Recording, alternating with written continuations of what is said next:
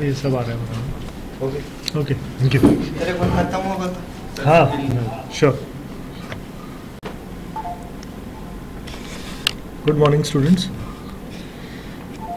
this is uh, dr ketan shah from uh, rims your assistant professor here at uh, rims medical college orthopedics department uh, before starting with this slide i would say that there are uh, i would just give a brief introduction of whatever is uh, ctv this ctv means it's actually a club foot uh, or ctv it's a synonymous uh, you must be knowing गदा जो uh, Bhim के हाथ में होता था this is uh, club and if your foot gets deformed in that direction then you call it as club foot the thing is this is a sort of uh, why this uh, club foot has been incorporated into your uh, subject.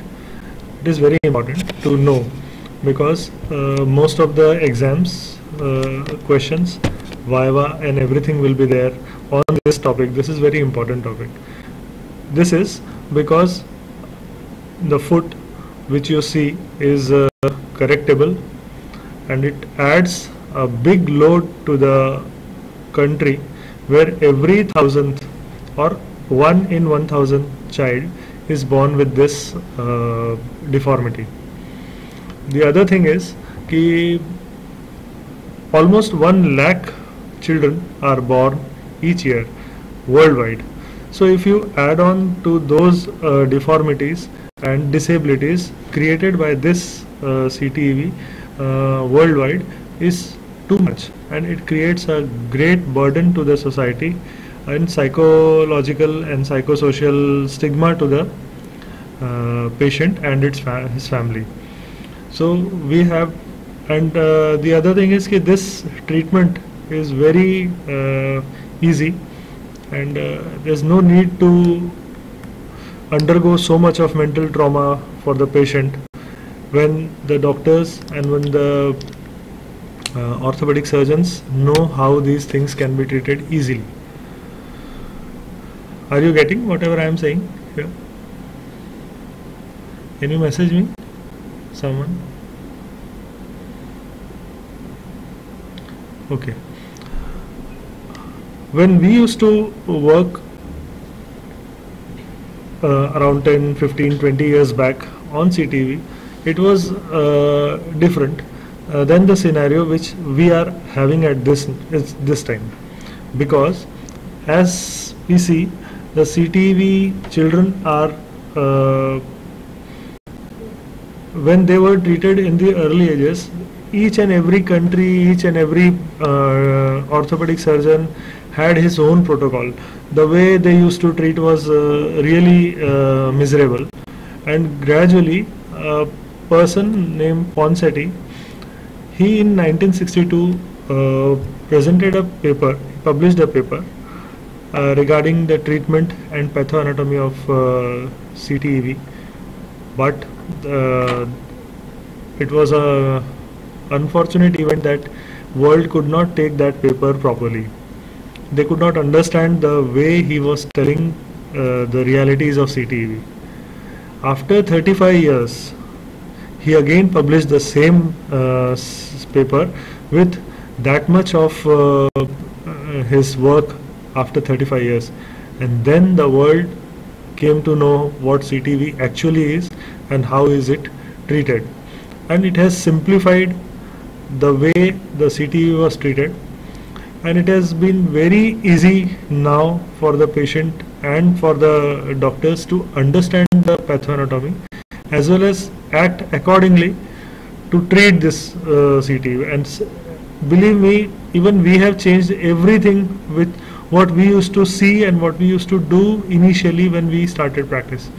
So CTV has gone a long uh, journey but it is uh, it has improved a lot. And people going uh, through uh, plaster techniques and surgery after this Ponseti technique everything has changed I'll now take this uh, um, uh, topic and uh, slide by slide I'll uh, just try to tell you what exactly this means.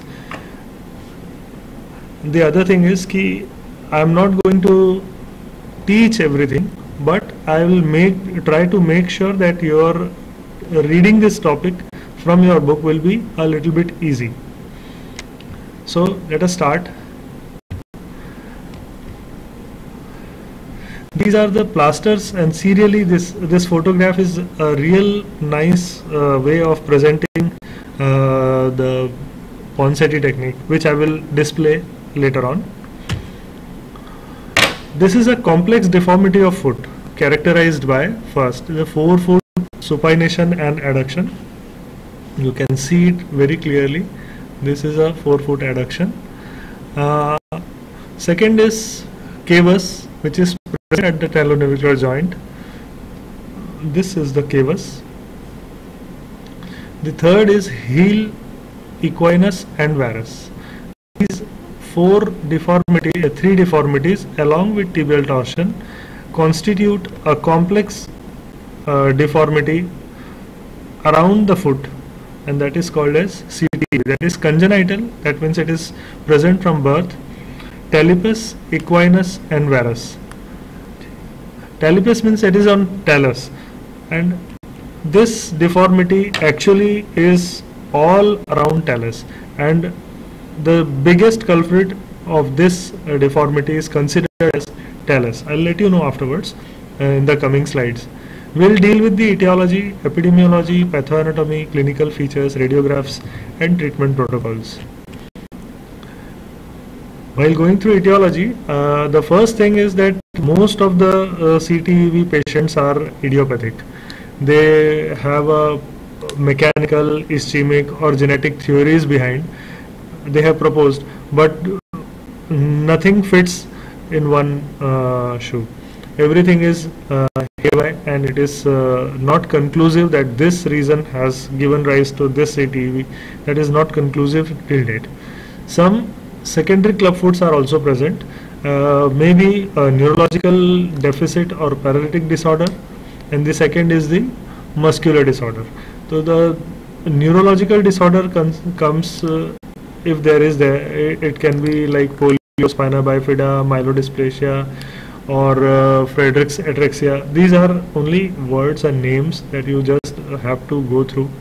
But the thing is कि once you get these patients you have to follow certain protocols and try to understand the reasons behind and try to work whatever is best possible for these patients. Because they are detailable patients and they are going to add to the burden of financial burden the family and the society as well as for the country. The epidemiology is, as I told you, it was 1 to 2 per 1000 births. Nearly about 1 lakh babies are born worldwide with clubfoot every year. Boys are affected twice. Bilateral, it is one third cases they are bilateral the anatomy this is uh, these two slides which I am going to show you are very important and they will tell you exactly what is going on at the foot level. The we will start with hind foot first. This hind foot is actually calcaneum and talus bones and also includes subtalar and calcaneocuboid this subtalar joint is talus and calcaneal joint and this calcaneocuboid joint. This joint as well as these two bones they constitute hindfoot.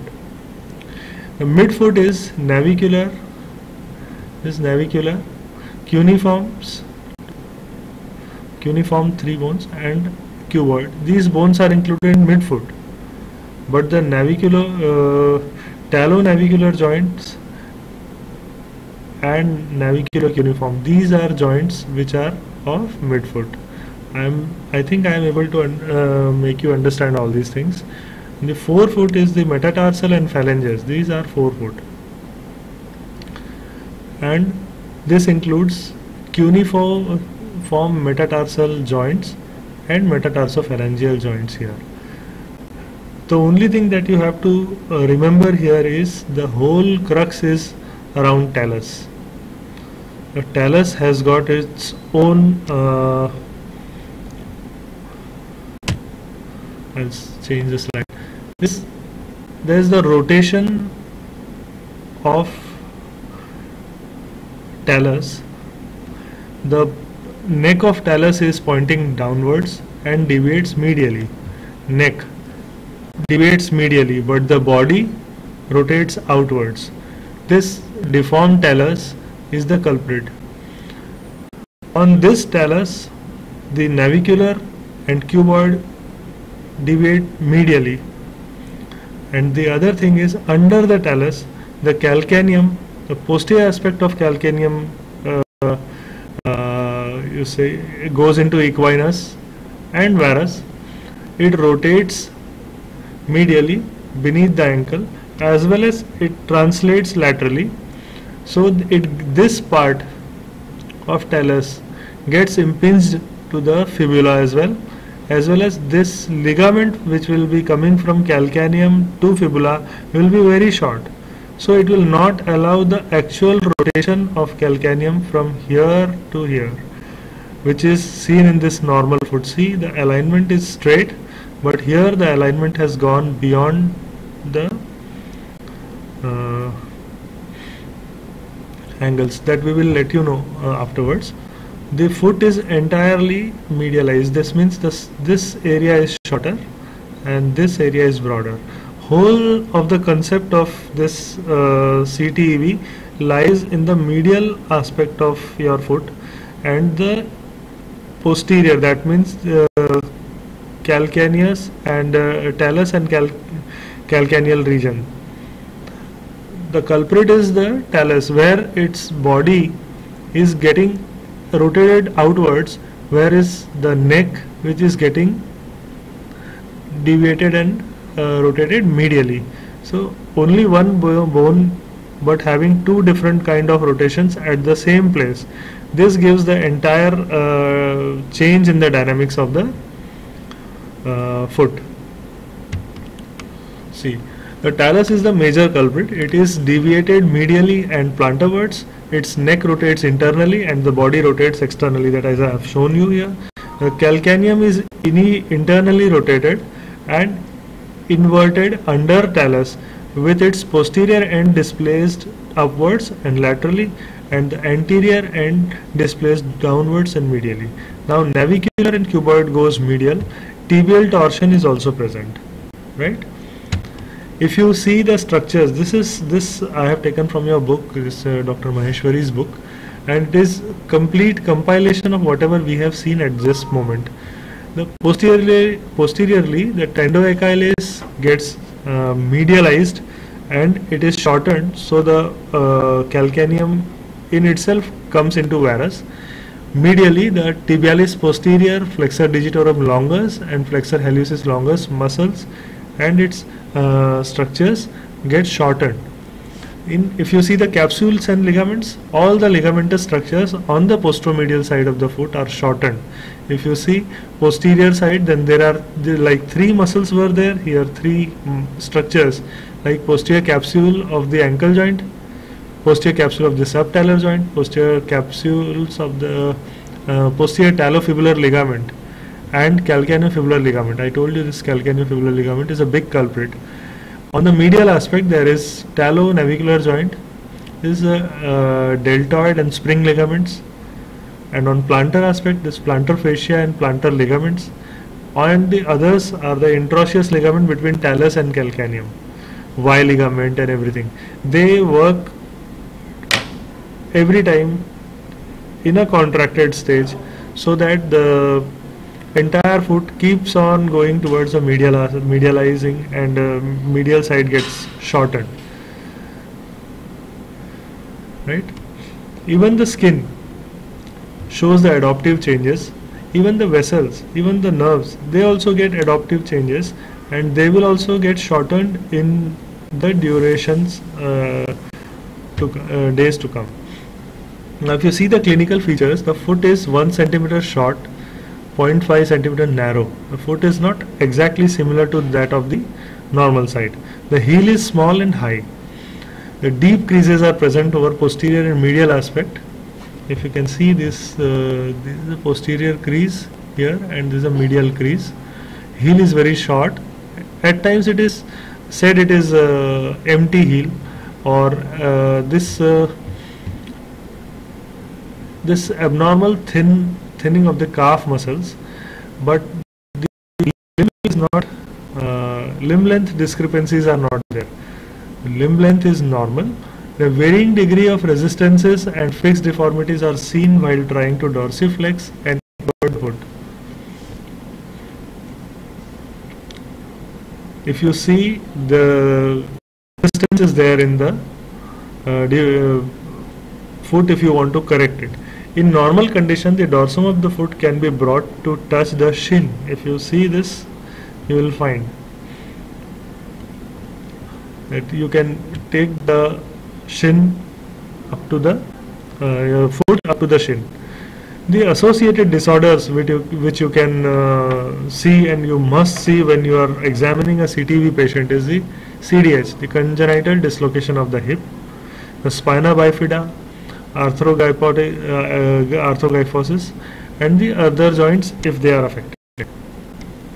Few terminologies which are very important uh, in case of clubfoot and these are all deformities are present but not correctable. This is true clubfoot. The deformities are present but they are not correctable. The postural talipes. These are some flexible, supple uh, deformities which can be corrected by gentle passive movement. Uh, for example, if you see metatarsus adductus is just a metatarsus which will come on the medial aspect. If you correct it, you will find that foot is absolutely fine. Few descriptions that I have taken from your book is supple, rigid, resistant, neglected and relapsed cases if you see this foot are brought in the normal position when while examining you can say these are supple foot they will respond very well. But if you see the rigid foot if the deformities are not correctable they are rigid foot the resistant is the foot deformities not responding to manipulation and plasters. Then they are all foot deformities uh, these are resistant foot they are actually resisting the deformities which they are resisting the correction. The neglected foot. If you not treat it for one year, we label it as it is a neglected foot. If it comes that a child comes after one year and says, sir, we want to get my child treated, uh, then you can uh, label this patient after one year that it is a neglected patient. Relapse foot is got corrected but then recurred. These are relapse cases. These are terminologies which are being used in Viva Voce when you will be appearing for the exam radiology. If you see the X-rays of uh, CTV patients, see talocalcaneal angle in AP and lateral stress uh, lateral view are the most important angles to decide uh, the heel varus and equinus at the uh, forefoot junction, uh, hind foot junction. So these are the two angles you must be uh, you will be able to re uh, easily remember. These are around 30 to 50 degree in uh, AP view as well as 30 to 50 degree around in uh, stress dorsiflexion view. If these angles are reduced, you will find that uh, this patient is in the favor of CTV. Mostly these angles can be again uh, seen getting improved after the serial casting or plasters are done. There are various other angles uh, but you don't have to bother for these things at undergraduate level. See if uh, you can see the uh, normal is 35 to 50 degree uh, this uh, calcaneum and talus but here if you will see they are all in parallel there is nothing like an angle in between them differential diagnosis if you, have to differentiate between these through uh, few uh, conditions in which it is metatarsus adductus or arthrogryposis multiplex congenita or a flat foot or a CVT, a congenital vertical talus, that is called rocker bottom foot. These four conditions you have to differentiate only then you can label a person a CTEV, a simple CTEV. While examining a patient of CTV, one should always examine for CDH, congenital dislocation of hip, spina bifida, and you have your hand should pass from posterior aspect of the sacrum to the entire spine, then to the head, then to the fontanelle of your head. The entire uh, uh, entire stretch of this part should be palpated by every physician or every doctor who is treating the patient of uh, CDH, um, CTEV. Now let me know what, uh, let me tell you the bad prognostic signs of the foot. Once you treat them, uh, I am going beyond all these things uh, just uh, to know what, uh, let you know what exactly we want to do in a CTV patient and how to identify whether this patient will be a difficult patient or a simple supple foot which will be easily treated in the plaster.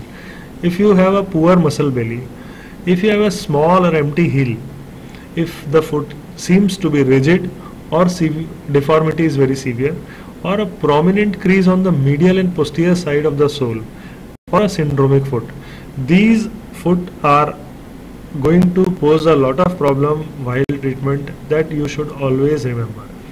Unless you see the bad prognostic signs, you cannot enter and just start with the treatment and do away with this.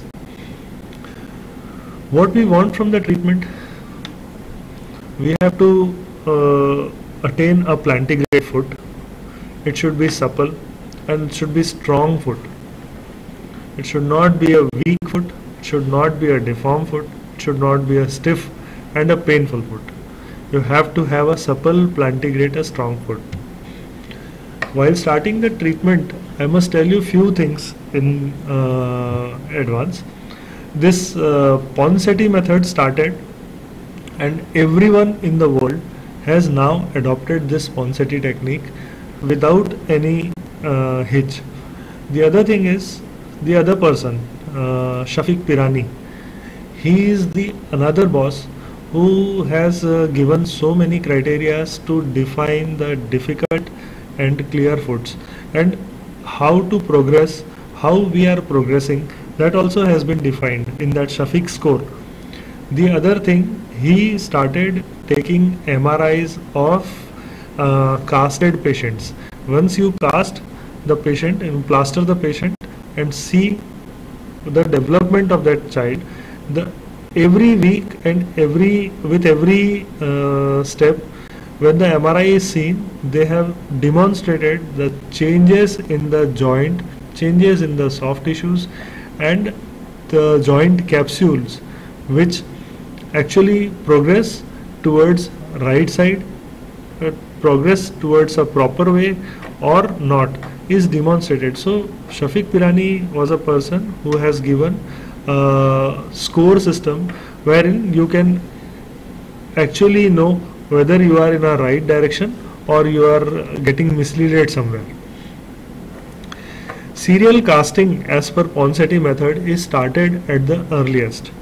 Once the child, if you see the child of CTV within a week of his birth, you can start casting the foot.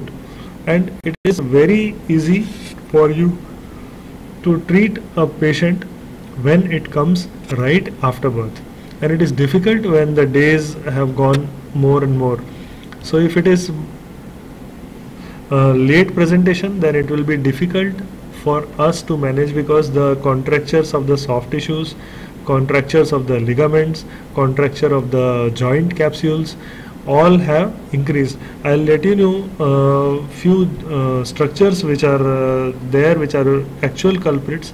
I have also uh, showed a slide that was from your book which shows the structures which actually hinder the proper development of the foot. What happens is कि once you have a progression of uh, these uh, plasters uh, these uh, this disease after few days your mind starts learning the way uh, this foot is being kept. And then the mind starts giving signals on that basis. So if you have a normal foot on one side and a deviated foot on the other side the brain will learn to use this foot also in the same way so if you correct it right from the beginning and from the day one or whatever so that when the child starts walking on both the foot plantigrade wise only then the brain will be able to learn a normal thing. Otherwise if you delay this uh, correction your brain will always be ready and learn with uh, the foot being deviated on the CTV side and it will be uh, the patient will land up with relapses and relapses because your brain has already learned this way of walking. So you have to de-learn, your mind has to de-learn the way it should walk and it should walk in any case on plantigrade and both foot on the ground without any deformity. And this is why we want to uh, teach you the treatment protocol the Ponseti method if you see the first slide you will see the foot is in supination first. You have a serial casting. In casts you know the first step has to be the cavus correction. The second is to uh, correct the adduction and uh, then uh, varus and equinus. These are uh, sequence and you have to follow the sequence and this is uh, actually asked in your exams as well. So you must know that your forefoot adduction uh, cavus adduction then uh, varus and lastly the equinus is corrected. I'll, uh, I have a slide uh, afterwards. You will be able to see that. The bracing after your plaster is over you have to keep the child in braces. And these braces are Denis Browne splints if unilateral you have to keep it if your foot is uh, unilateral a single foot is uh, involved then your foot should be into 75 degree of external rotation the affected hip. The other foot should be a 45 degree in external rotation. If you are having a bilateral foot then you have to keep it 70 degree both the foot in uh, external rotation this braces should be worn 24 hours in for 3 months. And then 14 to 16 hours a day that includes 12 hours of night up to 3 to 4 years of age. That means when the child is walking by first year first birthday the child walks. So if he is walking for, even then for 2 years he has to splinted he has to be splinted in the night hours. The, this you should be knowing. And now shoe modifications are also uh, given till 5 years of age uh, with straight inner border a little bit of uh, raise on the lateral aspect to prevent heel uh, varus and to prevent equinus. Right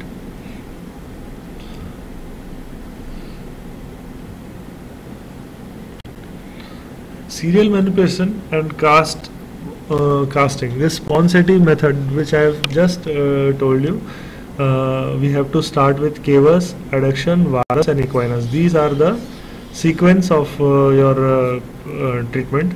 But the goal is to rotate the foot in equinus. This first thing is if you are correcting the equinus in last step then you have to keep every time the foot in equinus when this is being corrected first the cavus is corrected then forefoot adduction is corrected then keep on changing the plaster till it is around uh, uh, only varus uh, when the varus is corrected. And lastly you just cut the TA and you completely correct the foot.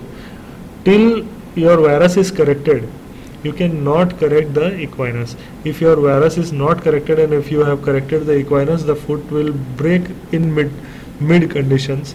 Uh, this will we will call mid foot break, and the talus will remain vertical, and you will land up in rocker bottom foot.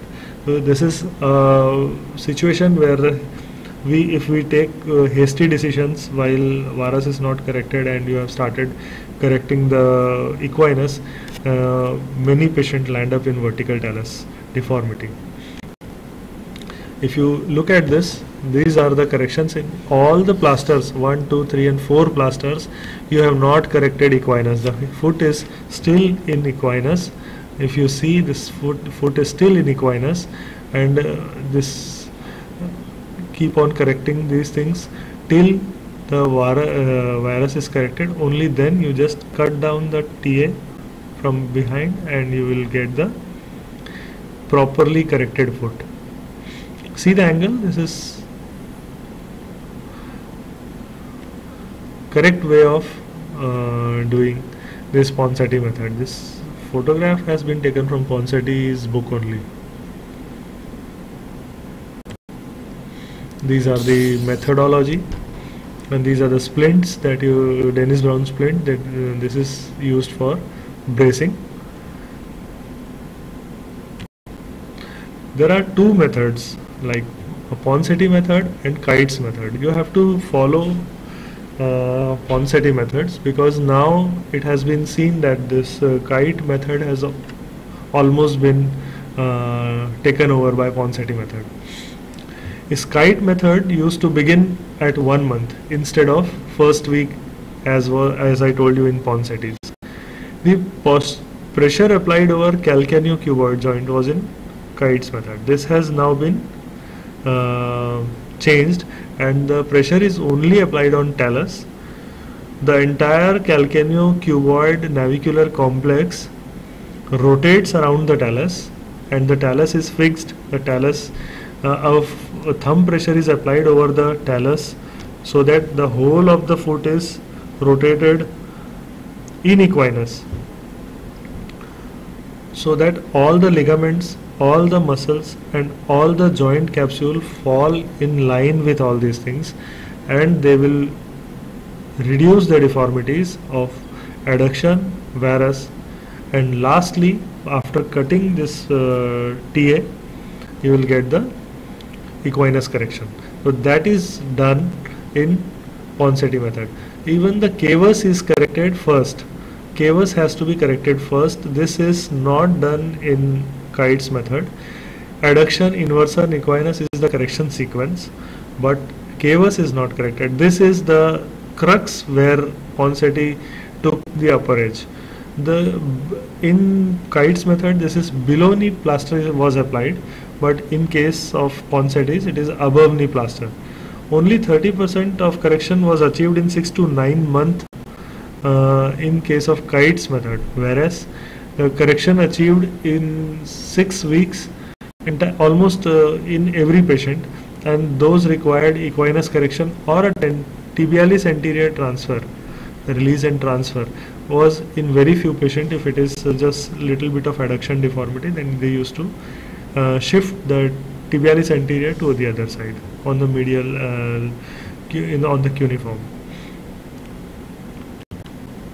If you see the surgeries, uh, this tibialis center ten tendon transfer and posterior tenotomy, they are done first. In case if you feel like if these patients are presenting late, then you have got a lot of options. And uh, according to this age we have um, brought forward few suggestions. Uh, like if only heel varus is there you can go for Dwyer's procedure for your posteromedial soft tissue release if it is the posteromedial deformities posteromedial soft tissue release with or without calcaneocuboid fusion is done if the patient is less than 3 years do soft tissue release if it is more than 4 eight, 4 to 8 years go for Evans operation, 8 to 10 years wedge osteotomy and for more than 12 years triple arthrodesis. These are, I must tell you few things about posteromedial soft tissue release. The, uh, we are lucky enough that we are born and uh, being brought up and being uh, working in the era after Ponseti has started his work and he has given our guidelines. I have seen so many deformed and uh, deranged and uh, ugly looking foot uh, after this PMSTR was done in many patients. Every uh, general surgeon, every orthopedic surgeon used to think a PMSTR is the bread butter surgery, so every CTV has to uh, go through this surgery. It's the worst thing that I have seen in my life. I can uh, I cannot even describe the presentations of uh, those uh, patients who had uh, who were uh, subjected to PMSTR by so many uh, general surgeons and all, and they messed up the entire uh, release of uh, soft tissues in uh, uh, CTEV and if it gets infected it gets healed then it gets fibrosed and then contractures occur and they contract con- the scar contracts on the medial aspect giving rise to more aggressive uh, clubfoot uh, conditions. So pmstr which is uh, written here is not a simple or easy task to perform.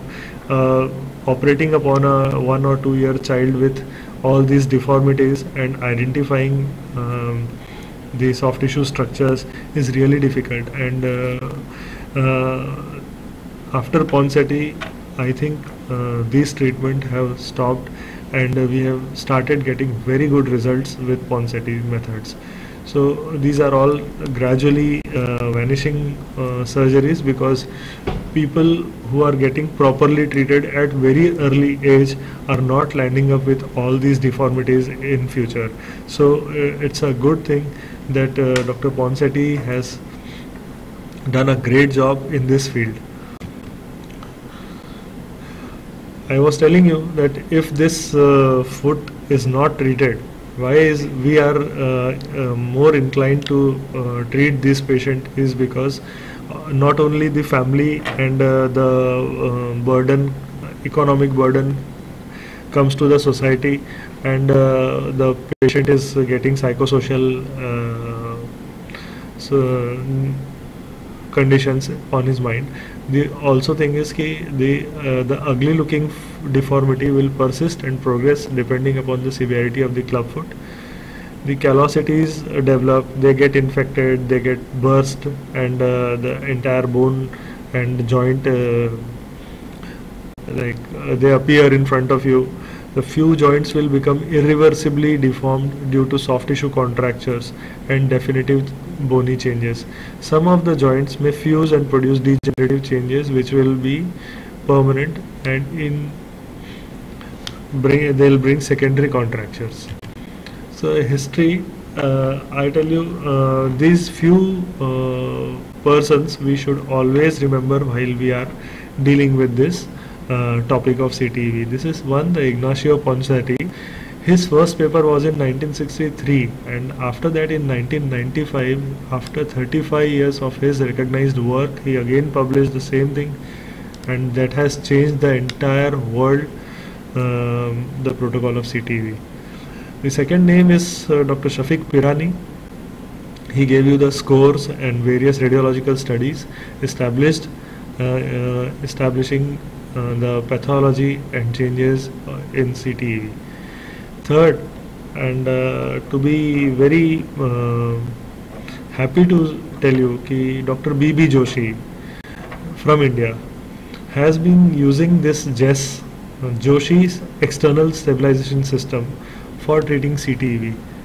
We have done one or two of those initially when we were in the uh, postgraduate students and uh, we have seen fantastic changes of these uh, after applying these JES techniques which has uh, which was world over accepted by uh, and done by Dr. B.B. Joshi from India. He is a big stalwart. The fourth person is Turco and the fifth is Kite. These these people have worked tremendously in the field of CTE. We should always remember them. Thank you. Thank you so much for patient listening.